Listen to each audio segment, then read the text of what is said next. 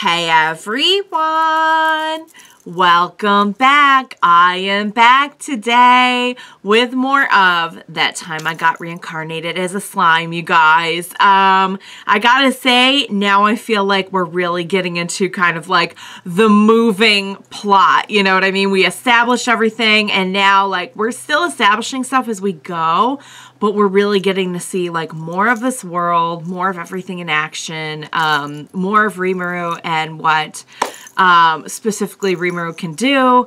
Um, I am so down for it and I just have no doubt whatsoever that what's coming is probably not what I'm going to expect, but like I already have like some theories on like what could it be, what could be coming. Um, so I will briefly just kind of go over um, how I felt about the last episodes that I watched before we jump into this next one. But first off, you guys, I just want to say if you're joining me early today, you know just what that means. That means that you are one of my awesome patrons. Thank you so much. And as always, I am sending up those big old hugs right through that screen.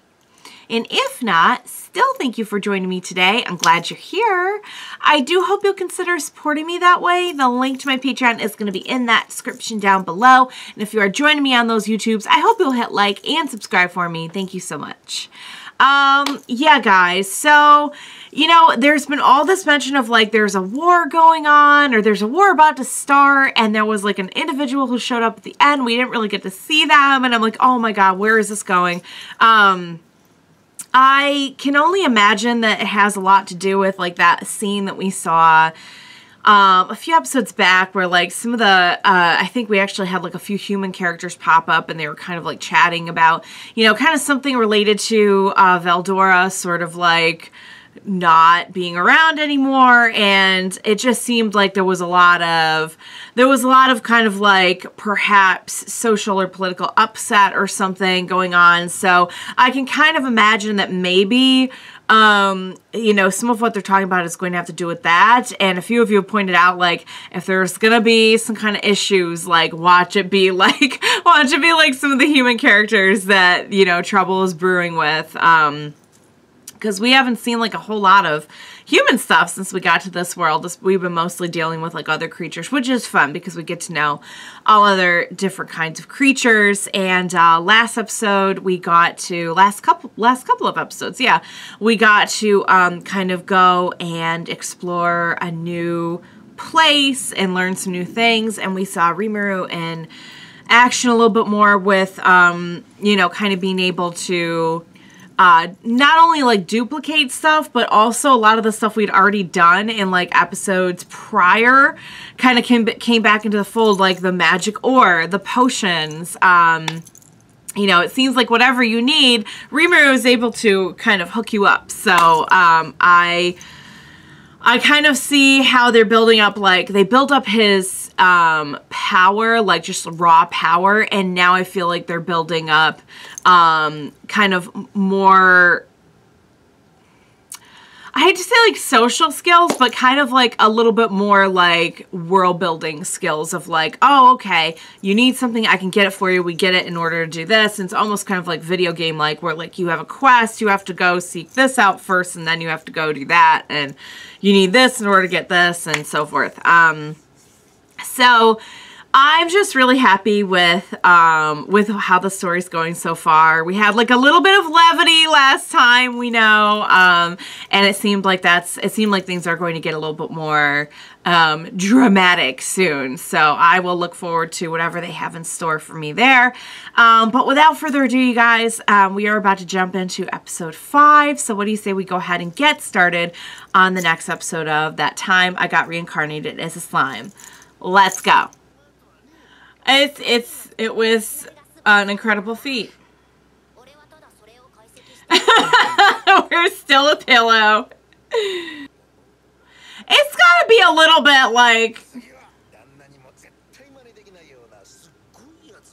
I was gonna say you can't possibly be able to copy every last detail, but Oh, Gobta! That's right, we never did go back for Gobta. What exactly are we trying? Massage? Say massage? We're doing this with the hands. I don't know what that means. Okay. I see that's ex exactly where the mind went.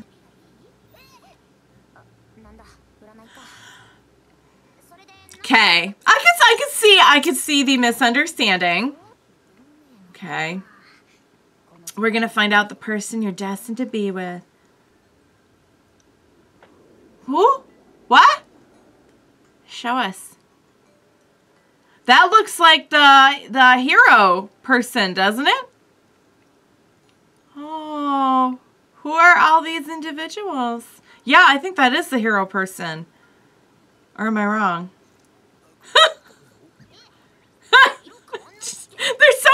Jiggling going on right.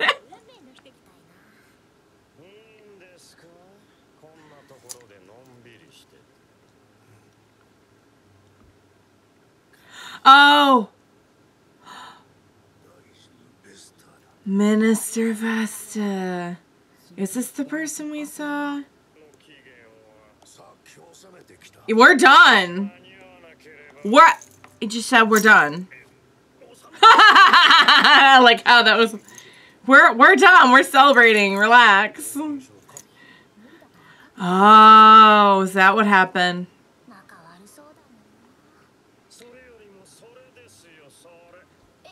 I'm sorry. That has a name. Would you like to see what this lovely monster can do, sir? Wow. What's... Are we real? Is this... Okay. We don't let monsters in places here? Come on. you protected the dress. Not keeping really chill. Wow. You know what? You have you have a lot more. Oh, and now we can. Okay. well, it's good that we internalized some info. I'm sure. Oh, you see, Rimuru is gonna keep their cool, but yeah, that's that's what I would have been tempted to do right there. Rimuru is a lot more calm than me. Well, we're we're out of here. We're leaving. We're out of here. Um, settle, sir. okay, it's not gonna be quite that simple.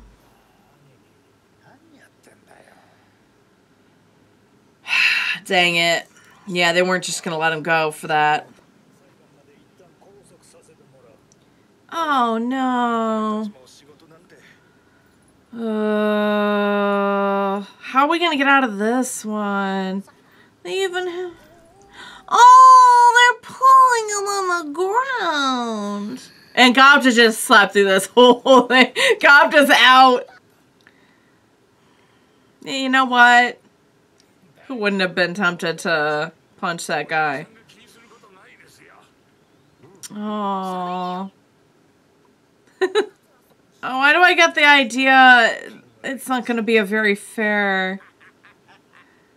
No, I don't know. I don't like this. Yeah, something tells me it's going to be very one-sided. I see. And what happened to this king? Oh. Oh. I see.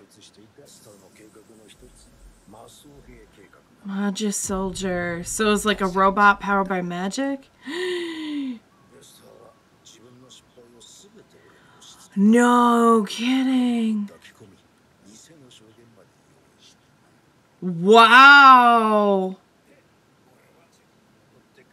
So you just, oh wow. You know what?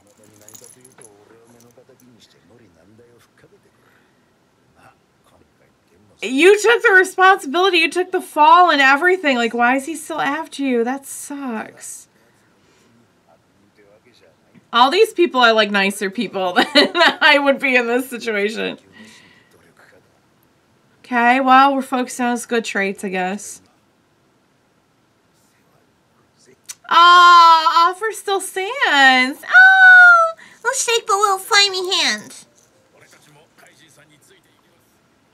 This is so cool. They're gonna they're really gonna be able to use their help. I think they're used to hard work. Aww. Okay, now we just have to get through this trial because I have like a really bad feeling about the trial. I'm not gonna lie. We've kind of been leaving you here for a little bit, actually. Ouch.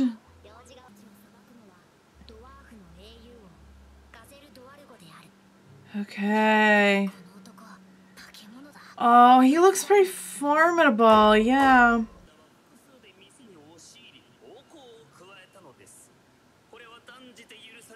That, okay. That is... Mm-hmm. Yeah, it's what. Oh, did we really embellish the injuries? Come on. I knew it. Yeah, you could have fooled me.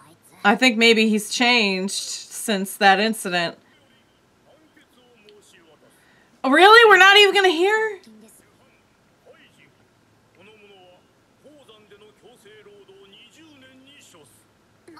No. Holy crap. oh, did he just speak?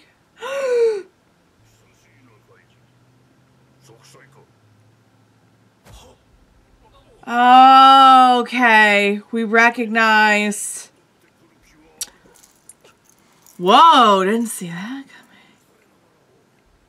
Oh, see, we've all, we we already have a new path in life. Oh, but maybe the king will respect his courage. Maybe I don't know.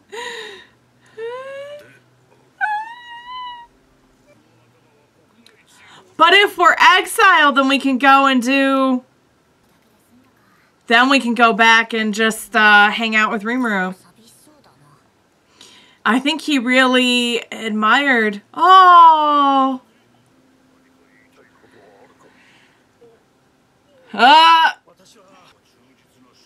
Mm.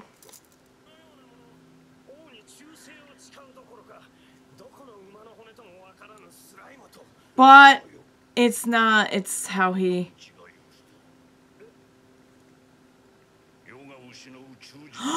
he means you.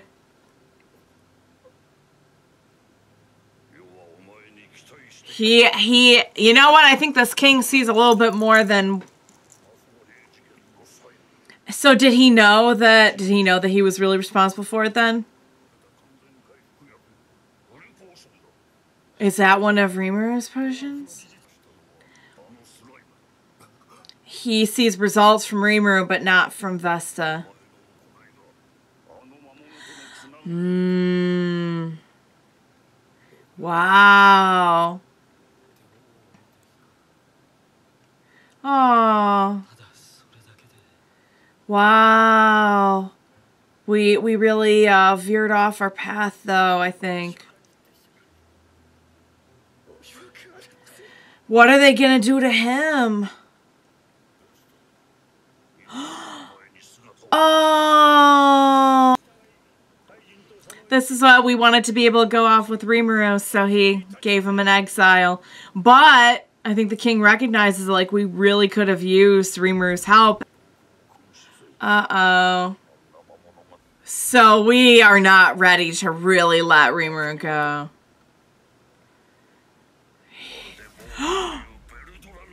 Oh, well, there is a reason for that. Actually, it turns out they are good friends. In fact, they're almost kind of family now, aren't they? All right, you guys, that was so much fun. Um, wow, we really got a lot in there. I don't know what the proxy thing meant. I guess we'll just have to kind of like wait and see, or maybe it was something obvious and it went over my head. Um, but yeah, it was really interesting to get to see like a little bit of background on this particular region. We got to meet the king. We got to kind of know, I don't think we know his deal, but I could at the very least tell he is a very, very formidable person and is very focused on anything that can kind of further their might and strength as a kingdom, which is why he just got super focused on Rimuru. And it's funny because like something kind of it seemed kind of innocuous at the time like oh we're gonna make these potions. And now we got to where we're going because we had the potions that they needed. And oh man it's a good thing um they don't know about the the swords that we replicated because I feel like um that ability too like don't you think that would have a lot of appeal to someone who is trying to build up like an army or a military or something like that. Did I say that? I feel like maybe I said that last time that like, boy, if this power fell into the wrong hands or like hands that really wanted to exploit the the military applications of this, like that could be kind of scary. Um, fortunately, I don't think anyone knows except that Vesta um, might put it together that like how did he get all of that done so fast? And i wonder if maybe he would use that to try and get back in the king's good graces like hey i have info for you. Um although it seems like the king does not want to hear from vesta anymore. That was kind of sad about vesta too because like as much of a jerk as he was being um i think he just has some really deeply rooted um self-esteem issues and really let himself go down a kind of a um shady path to fulfill his dreams. Um, Kaijin, I think, was that the name of, was that the name of the, I hope I'm getting that right. I don't know. I won't go back now, but, um, does it say in the, Kaijin, I think, is the name. Um, what's I going to say? Oh, so we got all of them on board, which I was kind of like, wow, how are we to get this super busy artisan to come and help us out? Well, now we have our answer, and he had decided already that he was going to, um, to, to join up with Rimuru. So the exile was kind of, I don't know if that was the king being kind of, um, if that was him trying to be generous you know, to say like, okay, clearly you've chosen another path. I'm going to go ahead and exile you. Or if it was just a direct result of, um, hey, you're not loyal to me anymore. Get out. I honestly can't tell.